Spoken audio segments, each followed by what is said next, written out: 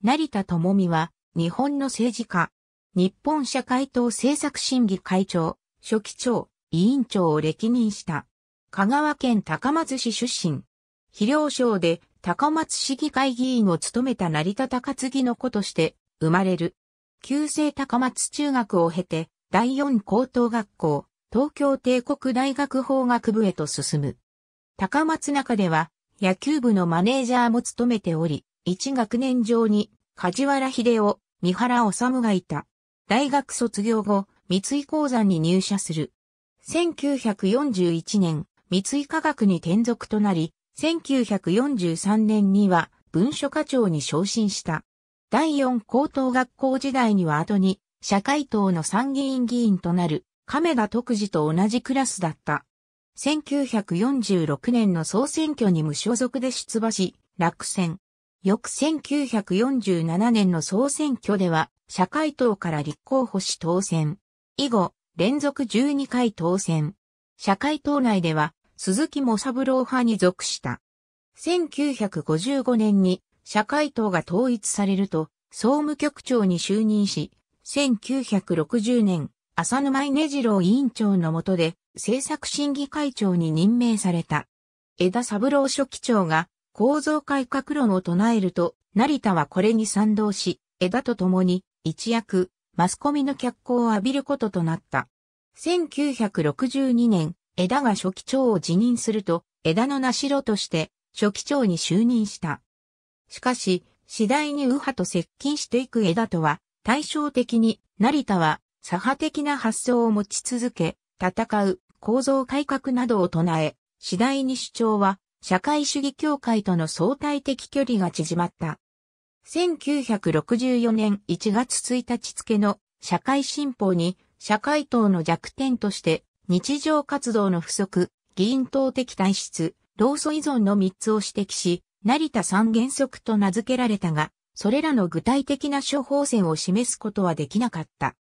1967年、臨時総会で健康保険法改正案の決議をめぐって対立した責任を取って、佐々木幸三委員長をはじめ、執行部が退陣すると、成田も書記長を辞任した。しかし、1968年8月、勝又誠一委員長が第8回参議院議員通常選挙で社会党が敗北した責任を取って辞任したため、委員長に就任し、書記長に枝三郎を指名した。政治家としてのキャリアでは上である枝が、成田の下に配置された、この人事は、坂子人事と呼ばれた。1969年の第32回衆議院議員総選挙で100議席割れの大敗を喫し、辞意を表明するが、佐々木派や社会主義協会にも支持基盤のある成田は辞任を認められず、その後も佐々木派や社会主義協会の支持で委員長を続投していくこととなった。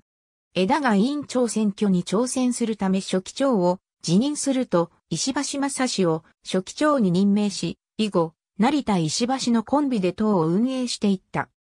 しかし、党内では親中派の佐々木派と新祖派の社会主義協会が対立を始め、1974年には枝と佐々木が和解して反協会派を結成すると、反協会派と社会主義協会の間でも対立が始まった。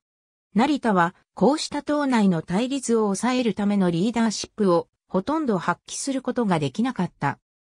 成田委員長の時代は、革新自治体が各地で数多く誕生していた時期で、地方から中央を包囲するなどと、息盛んな声が社会党内から出されていたが、実際には、社会党の地方組織は1970年代後半から革新自治体のパートナーであった公明党や日本共産党に侵食され、社会党組織の疲弊が進んでいた。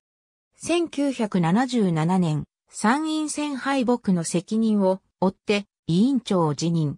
1979年3月9日、白血病で急死した。新東京国際空港の反対運動時に用いられた立ち木トラストの名人札名人札には、佐藤幸通、佐々木幸三、成田智美の名がある委員長在任中に、社会党が三里塚闘争を支援していたことから、空港建設反対派の一坪運動や流木トラストに名義貸しをしていた。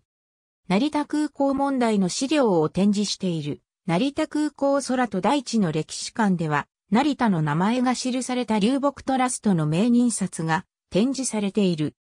亀田徳次、成田くんと私、成田智美、活動の記録第3巻、成田智美追悼館公開、1982年、228ページ。